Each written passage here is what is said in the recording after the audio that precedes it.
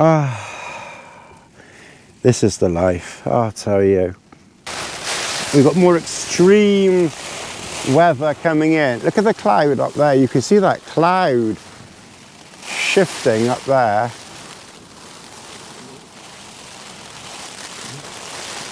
There's probably some, some chump up there right now. I'll post a video of extreme weather on, on YouTube. Probably tent got wrecked, probably got soaked, probably get 10,000 views for extreme disastrous camping in the Peak District. But, ooh. We're down here in extreme comfort at one o'clock in the afternoon, obviously doing this camping, hiking, malarkey thing completely wrong. You know, they say you should set up late. I'm going to say F Piss off first thing. I always uh, be a bit careful. I really don't swear. I don't know why I started doing that, but it's kind of funny sometimes. Um, piss off first thing in the morning the next day. We're going to have the town and council, the planners coming along for uh, They'll be asking for planning planning permission. Mind you, for this uh, Trailstar, when you think how, how big it is, I reckon there's some people's mansions aren't as aren't as grandiose as this. I mean, look at the size of the bloody thing. let's see.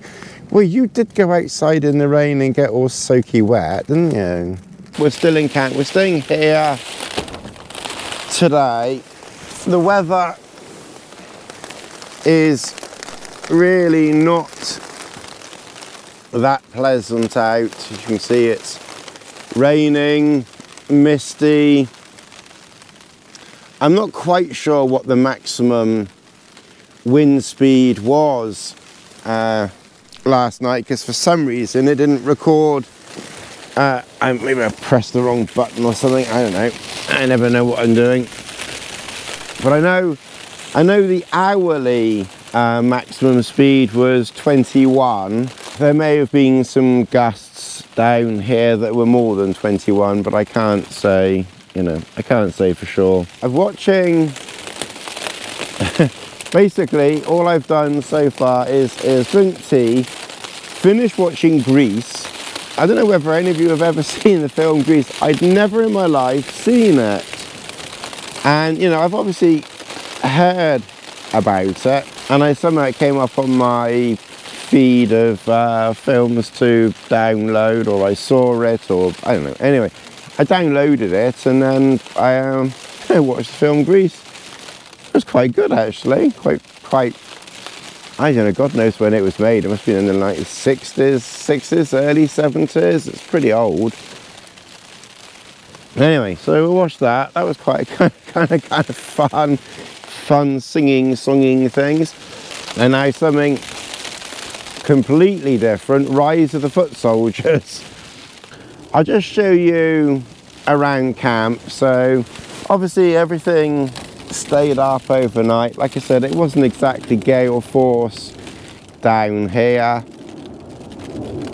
Don't worry if the edge of your mat kind of goes over the edge of the ground sheet, you know, a little bit, as long as it's as long as there's nothing underneath that's going to puncture it or cause any problems and as long as you've got something there you know just to stop it from getting damp or something you know that, that that's fine. You don't need to worry you know you don't need to worry yourself about that. You can see over here my raincoat has caught some of the splashes there. So basically it's doing its job there you know stopping rain getting in at me so job done there this pillow here is is doing is doing fine, uh, hasn't gone down yet. I think it's the more heavy duty, it's not just the ultralight Exped uh, pillow, it's the slightly, it's a slightly heavier duty, you know, Exped pillow. I've got this much space here, so obviously I can bring the, I can bring the mat forward, you know, a few inches, you know, so if you are a bit pedantic about your your mattress over the edge there you know obviously you can move it slightly to the right and slightly forward and and that will get it you know on the thing. But I think I'm on just a little bit of a slope here. So I am kind of sliding down I'm not sure how far inside the door we are but it's good I don't know if it's 18 inches or thereabouts, but it's, uh, it's a, we're, we're, a good foot under cover here. But we, we did have we did have a very good night's sleep. It was quite windy and and it was quite rainy, but I put my earplugs in. I mean, now I've got earplugs that actually work and stay in. Then I'm probably, I must admit, especially when it's you know, raining and, and windy, more likely to use them. So the first night I tried this one here, this kind of like Christmas tree type thing.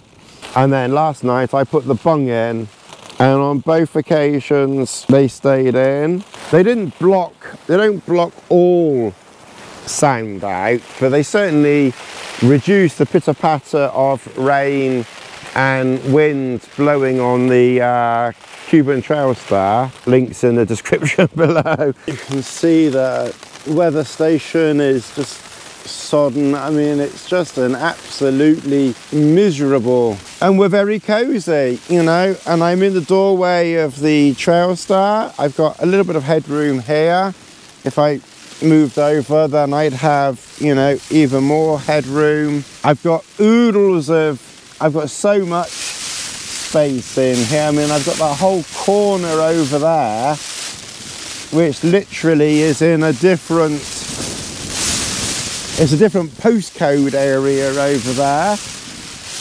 And it's not being, it's not being used. And we're very, very comfortable in here.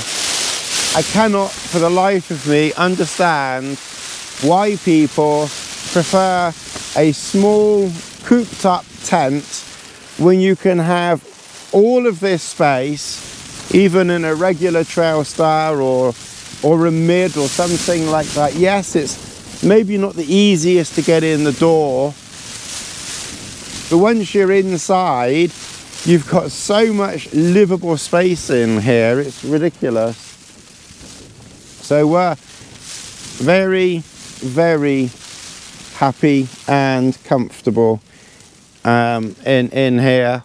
It's just, it's perfect. This just beats any tent, hands down.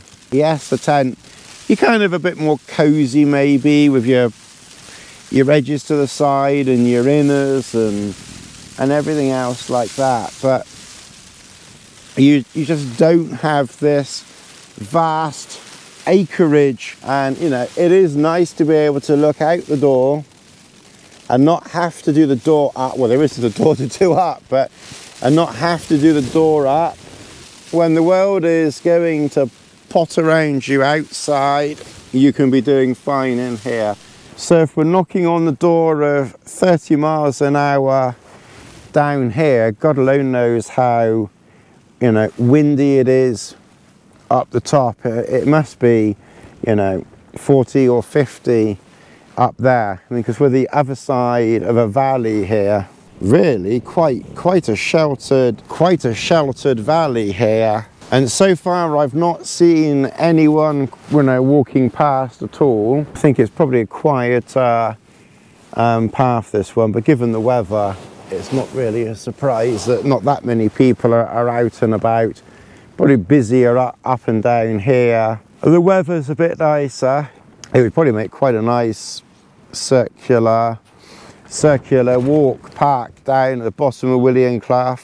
Come up down here around the back up Fairbrook Naze Fairbrook Brook and down that way. So, you know, maybe inadvertently we've actually discovered another another trail that we could that we could do. Yee, it's really hammering it down now. We've got the extreme weather. Now we can put extreme in the title. Extreme wind. Oh, just eased off a bit, but it's pretty extreme. But look, extreme weather, and we've got about two spots of water, a couple of spots of water have extremely managed to get in. So now we have to abandon camp. Epic failure. Two spots of rain have got in. oh God. You see, people will be panicking because the, the mat isn't on the ground sheet. Rain's got in. Imagine what people worry and panic about. My only concern is, have I got enough milk? Plenty. And have I got enough tea bags? Plenty. I think that's boiling. You see, that, that that's the perfect meth, meth stove. It's like a teeny weeny, like a little, I don't know, it's almost like a makeup, um, metal makeup thing with fireproof stuff inside it. So we, we finished Rise of the Foot Soldiers or, or Origins. No, stay there, stay there, stay there, Lassie. Look at the state of you, Lassie. No, stay. No, stay. Don't go knocking everything. Stay. and I re no, Lassie. Oh, God. no, you stay there. Mind you put that paw back there. Oh, that's no. You're like the creeping lurgy, aren't you? You just want to do a bit of lassie time. Is that what? No, you stay there. Let's, let's try and get you in the camera. You stay there. Okay, you're soaking wet. Oh, lassie, you are a good girl. You're very good. You're very patient, aren't you?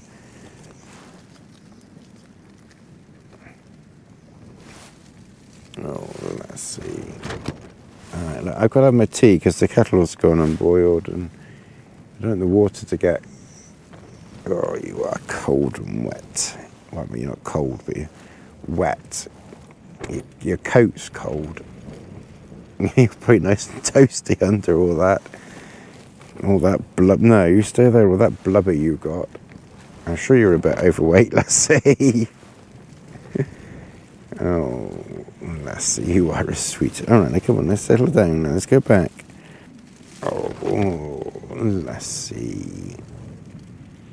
Oh, let's see, let's see. Oh, it's a, it's a miserable old day out there.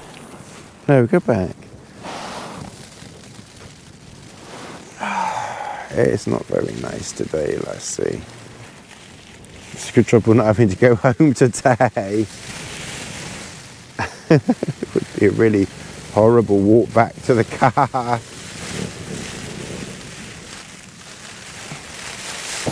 We're just going for a little walk up the valley.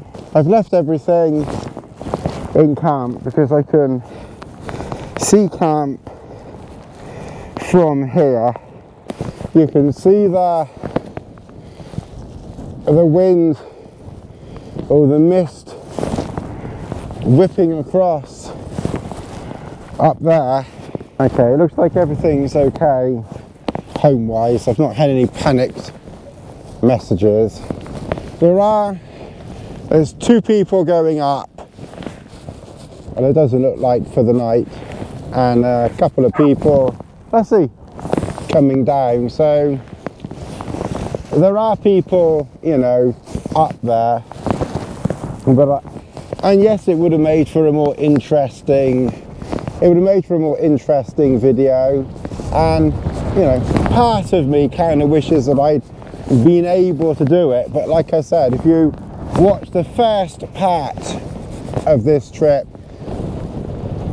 I got to the top up there on Wednesday and, and the wind was so strong I was virtually being blown off my feet.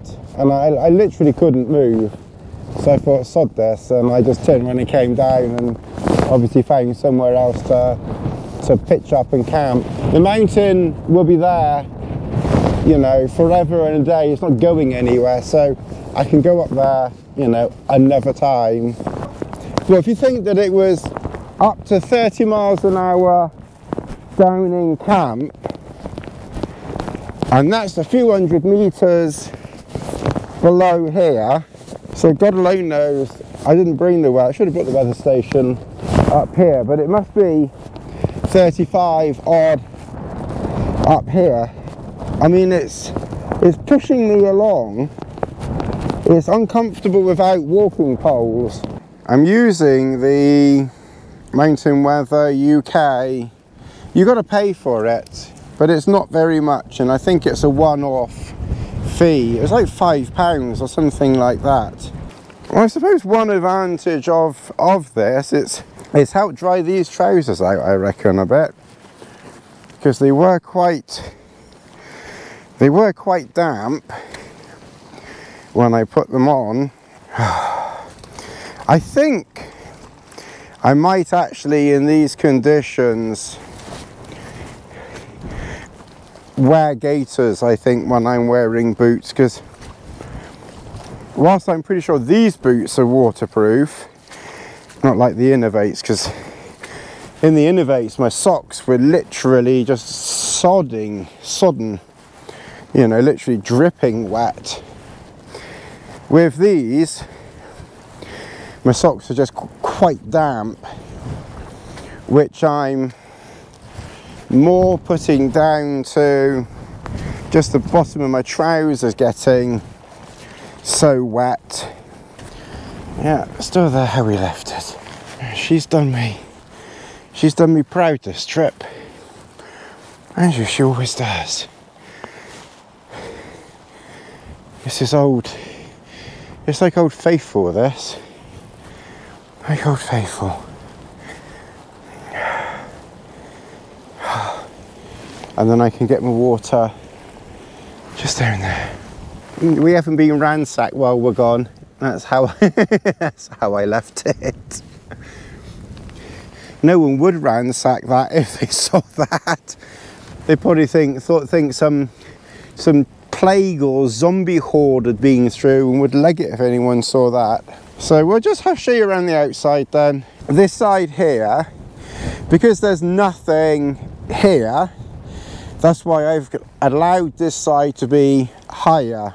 This side here I've kind of pegged low to the ground, not so much because there's anything there, there, there isn't as such, but because this is the prevailing wind direction. And this is also a prevailing wind direction. So there is really no exact logic as to why I've let this side be a little bit higher. I, I guess the only logic in a way is given that my feet and everything are there it's kind of useful to have it a little bit higher, use things as extra protection inside, and it gives more foot room, so there is some logic to that madness. And this side I've also kept quite high. It's opposite the prevailing wind. And, you know, again, I'm protecting it with the pack and other things like that to give me, you know, more shoulder room inside. You could obviously, you know, pitch it lower if you needed to. But this, this is a good height here. And it's not the most even of ground here, as you can see. And it's pitched, it's pitched perfectly well. As I say, this side here, you know, is a little bit flappy. That is the one thing with the Cuben Trailstar. You're not gonna get necessarily every panel completely tight. It's kind of a matter of getting, you know, as much of it tight as is possible, really. You can see Lassie down there. You know, if you can spare a few days, nothing really beats just pitching your tent, preferably somewhere in the middle of nowhere. I mean, I know this is on a main path, but it's this time of the year, it's, it's virtually the middle of nowhere where you're not disturbed, there's nobody around, and just just stay in camp and do nothing apart from you know make a few videos like this which nobody will watch I say that I'm being a bit unfair to um, I, am saying that very tongue, tongue in cheek so to those that do watch and I think some of you get a little bit a little bit um, defensive when I say nobody nobody watches um, because some of you do watch, bless you. Um, the faithful few, the, the magnificent seven. so I don't know if I'm Steve McQueen or one of the other ones. uh, with this uh, short hair, I'm like Yul Brynner or whatever his name is or, or the Dirty Dozen, the Magnificent Seven. So what are you? The, the Magnificent Seven, the Dirty Dozen. I'm Tony Two Hats. And I think you a lot of the Dirty Dozen, I think. anyway, I'm going to put some more water on.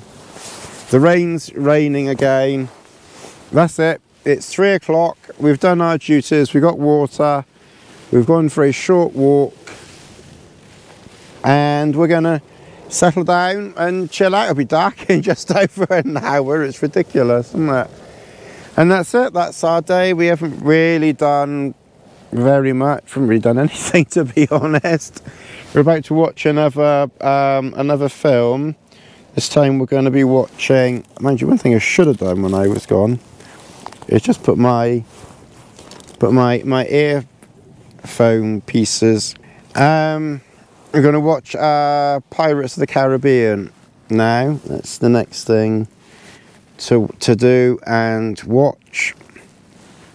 I was going to do a video on on Superfeet, but I'll I'll do that another time. I'm feeling I'm feeling too lazy. Leave a comment below if you're particularly interested in a video on Superfeet, but even if you're not, I'll do one at some point because I've been using them for a very, very, very, very, very long time and they help my feet a lot. Don't worry, there won't be any links for them because you're better off getting measured up for those in a proper shop. I'm going to stop waffling. I'm going to put the water on and have a have another cup of tea while this wind and rain and everything else does its does its worst outside. Until later and I must admit I'm pretty sure they're somewhat drier now. Oop. Oh motherfuck!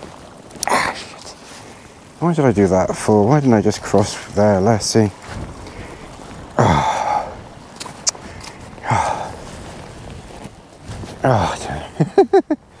Sometimes I swear I make things more difficult for myself.